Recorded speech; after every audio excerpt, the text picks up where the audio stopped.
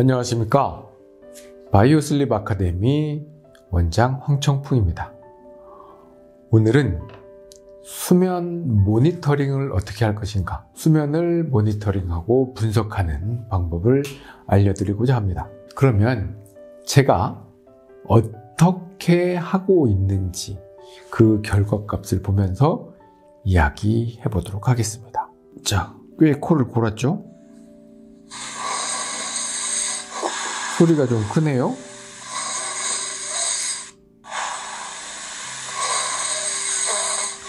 들숨에서 혀가 마지막에 끌려가 들어가는 소리가 납니다.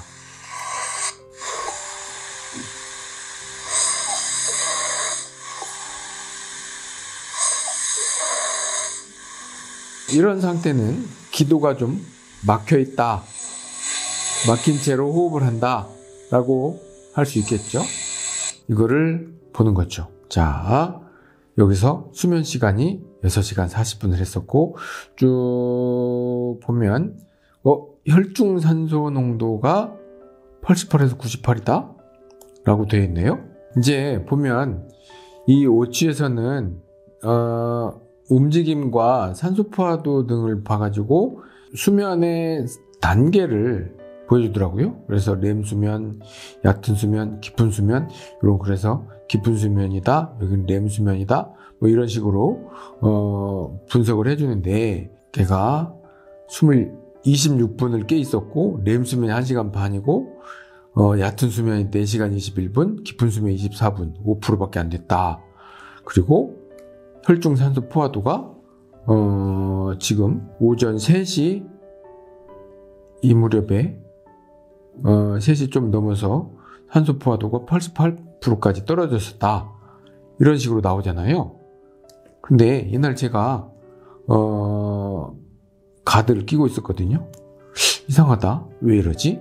라고 해서 제가 따로 본 게 있습니다. 3시 넘어서의 산소 포화도가 그렇게까지 떨어진 적이 없어요. 이거는 뭐냐면 손가락을 끼우는 산소 포화도 측정기입니다.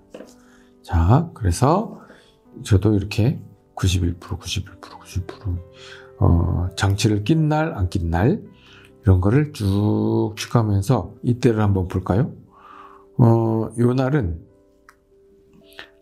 장치를 아무것도 안 하고 어, 휴일 날 어, 뭔가 일을 많이 해가지고 많이 피곤한 상태고 우, 이제 힘을 많이 써서 등 쪽 근육통이 좀 있었다는 내용을 갖고 있습니다. 피곤한 날을 확실히 보면 이 산소 포화도가 많이 떨어져 있죠. 이렇게 장치도 안 끼고 그리고 심장 박동도 상당히 불규칙하게 나타납니다. 그리고 몸의 뒤척임도 많죠. 요 산소 포화도 측정기는 이렇게 해서 손가락에 끼고 자기만 하면 이 스마트폰하고 연동이 되기 때문에 얘를 통해서 이렇게 볼 수가 있고요. 제가 드리고자 하는 말씀은 뭐냐면요. 소리로 들어서 알 수 있는 게 있고요. 소리로 좀 더 뭔가 좀 부족하다. 왠지 성이 안 찬다. 좀 이거 내가 잘 모르겠다. 할 때는 어, 워치를 도움을 받는 경우가 많은데 실제 이 워치는 정확도가 많이 떨어지더라고요. 제가 비교해 보니까. 그래서 정말 나는 해보고 싶다. 나의 수면은 중요하니까. 그러면은 요걸, 요런 걸 사가지고 내 수면을 밤새 모니터링을 해서 분석해 보는 것도 어떨까 싶습니다.